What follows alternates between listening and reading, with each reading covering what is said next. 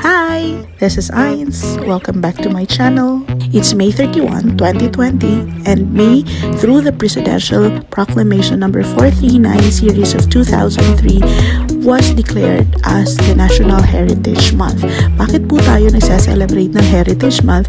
Para po magkaroon ang mga mga Pilipino ng consciousness, ng respeto at pagmamahal sa mga legacies or mga pamana ng ating mga ninuno sa ating a cultural history or sa ating mga, ating kultura dahil ito rin po ang ipapamana natin sa ating mga anak. So, ang videos ko are about heritage. I-divide ko po siya ng uh, series of videos. Yung una kong video is about World Heritage Sites na na-declare ng um, UNESCO And then, meron din akong video na about ng cuisines, different cuisines around the Philippines na napuntahan ko at na-try kong gawin. At saka, meron din akong iba't ibang intangible at saka natural heritage na ipapakita ko sa inyo na most of us hindi natin alam na may ganito pala dito sa Pilipinas. So, I hope you enjoy it!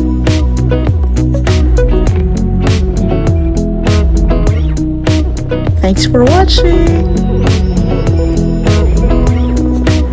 Sisimulan po natin ang ating videos of Heritage Month sa mga World Heritage Sites na dineclare po ng United Nations Educational, Scientific and Cultural Organization or by UNESCO. Ang ipapakita ko sa inyo ngayon ay ang apat na Baroque churches na matatagpuan dito sa Pilipinas na dineklara noong December 11, 1993 ng UNESCO World Heritage Site as the collective title Baroque Churches of the Philippines, a collection of four Baroque Spanish-era churches. Ang una po ay ang San Agustin Church na kilala rin sa pangalang Archdiocesan Shrine of Nuestra Senora de Consolacion e Corea or the Immaculate Conception Parish na makikita sa loob ng Entramuros, Manila. So yung construction ng church na ito ay natapos noong 1607 still during the Spanish period. Kinukonsidera po itong church na ito oldest stone church in the country. Noong 1976 din ay pinangalanan siya as the National Historical Landmark by the Philippine government. So from NCR, punta po tayo sa Northern Luzon. Ang next pong church ay ang Santa Maria Church na nasa Ilocos Sur or mas kilala din siya sa Church of Our Lady of the Assumption. So itong church ay doon siya nakalagay sa top ng hill. So nakikita mo yung dagat. So ginawa siya not only for a lookout during sa time ng mga Spanish period pero ginawa rin siya as a religious center ng early administration na nakatera doon banda sa Ilocos Sur. So, ang Santa Maria Church ay attraction po siya sa mga turista and at the same time sa mga Catholic devotees. Let's go further north. So from Ilocos Sur, Ilocos Norte naman tayo. Ang very famous na church doon ay ang St. Augustine Church or mas kilala siya pag tinawag mong Pauway Church. So ang Pauway Church ay nasa Ilocos Norte at na-complete itong church noong 1710. Naging famous siya dahil sa mga malalaki niyang buttresses sa gilid ng church at sa likod ng church. In 1973 naman ay dineklara siya ng Philippine government as a national cultural treasure. From the north, biyahe po tayo papuntang western part of the Philippines, specifically in western Visayas. So, ang next pong church ay ang Santo Tomas de Villanueva Parish Church or mas kilala siya sa Migagao Church. Ang Migagao po ay makikita at matatagpuan sa Iloilo. Isang town po siya sa Iloilo. Itong church na to ay naging famous dahil sa very intricate na facade niya. So, kung makikita nyo dyan sa picture, maganda talaga yung facade niya as compared to the other Baroque churches in the Philippines. Ang next na World Heritage Site na dineklara ng UNESCO dito sa Pilipinas ay ang Rice Terraces of the Philippines Cordilleras. Limang taon po silang dineklara maganda yung rice terraces, ito ay ang Sabatad, Bangan, Mayuyaw, Hungduan at Nagakadan. Yung napuntahan ko lang po doon ay ang Hungduan. So yun lang po yung ipapakita ko sa inyo. Ang Hungduan was derived from the word Hungdo na ang ibig sabihin ay proceed or pass or mag-transverse or go. So Hungduan is a place where people pass or transverse on their way to another place. Magtataka kayo kung saan banda ang Hungduan. Ang Hungduan po ay nasa hinterlands ng Western Ifugao. So yung sa west part niya is ang Mountain Province, yung sa south niya ay yung municipality ng Tinok at siya yung sa east niya Kiangan at sa north naman niya ay ang Banawe. Pag pumunta po kayo sa Hungduan, may deck view po sila na makikita nyo po yung rice terraces talaga nila. Pero pag bumaba kayo, iba yung itsura ng rice terraces pag nasa baba talaga kayo uh, compared kung nasa aerial view kayo. Nilakad namin yung mga dinadaanan ng mga farmers. So nakita ko kung paano nila binil yung para maging mukha siyang rice ter ah, para maging mukha siyang terraces. So, grabe yung IK nila, yung indigenous knowledge nila na ginamit nila para mabuo tong rice terraces. Grabe.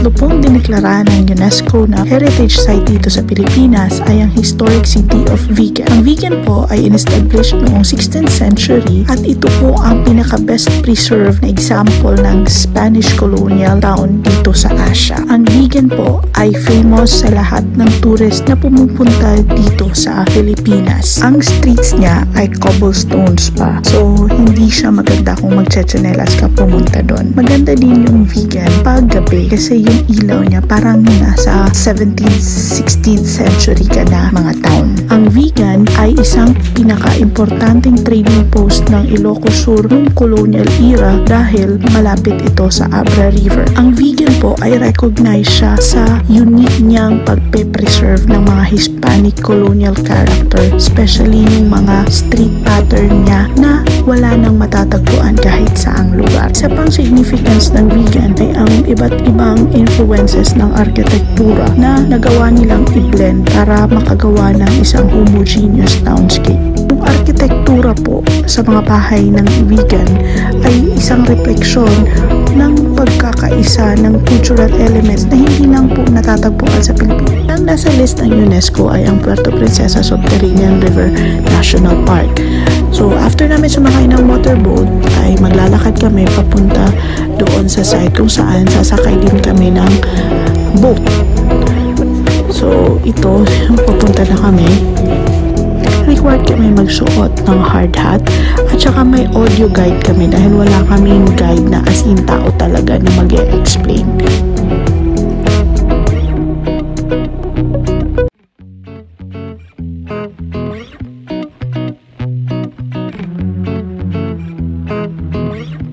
Ito po, pumapasok na po kami sa underground river. Yung video na to super mahaba. Kaya ang ginawa ko parang tinime lapse ko siya para naman hindi ganun kahaba yung part na to sa video ko. So, ganyan po yung itsura niya. Super madilim sa loob. Kung claustrophobic ka, medyo hindi ata to para sa'yo.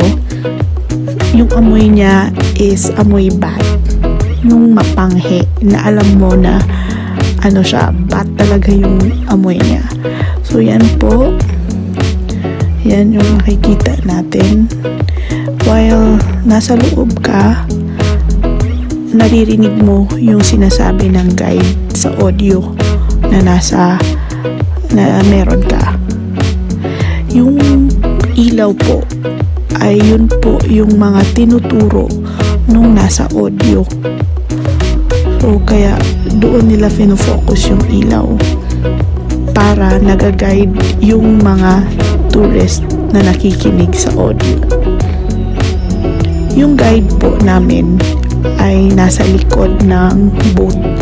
So, apat po kaming nasa unahan at saka may isang nasa likod. Siya po yung guide. Ito po, um, madilim talaga siya. Kung hindi maganda yung eyesight mo, madilim siya sa loob. Pero maganda siya kasi iba naman yung nakikita mo talaga siya in person as compared po kung video lang para makita ng iba. Amazing, amazing. Gusto ko to. Isa to sa mga gustong part ng UNESCO World Heritage Site. So, ayan, pabalik na kami. So, kasi medyo bumibilis na. Pabalik na kami dito. Palabas na kami. Ayan po.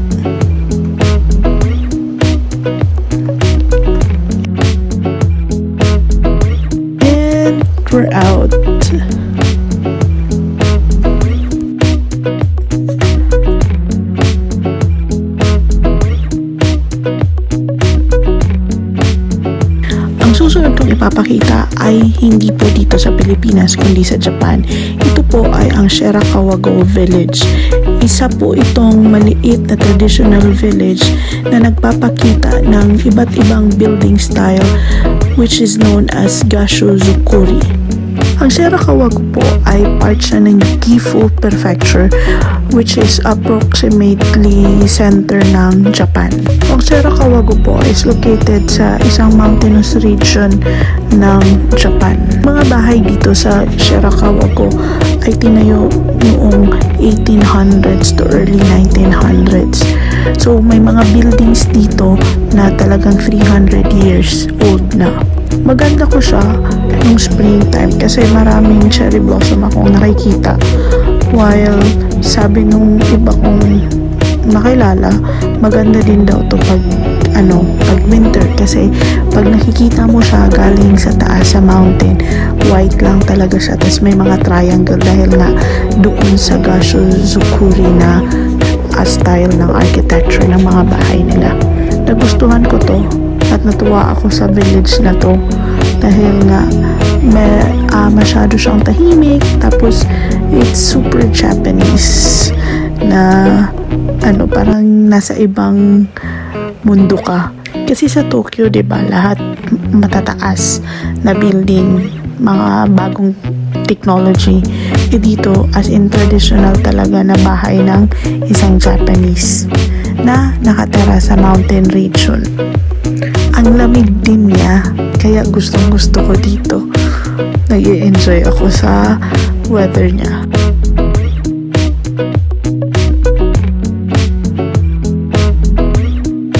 Uli kong ipapakita ay ang Angkor Wat Complex na makikita sa Siem Reap, Cambodia. Ito ay considered as one of the largest religious monument in the whole world. Ito ay ginawa originally for Hindu temple na para sa mga gods nila. Pero later on ay naging Buddhist temple na ito.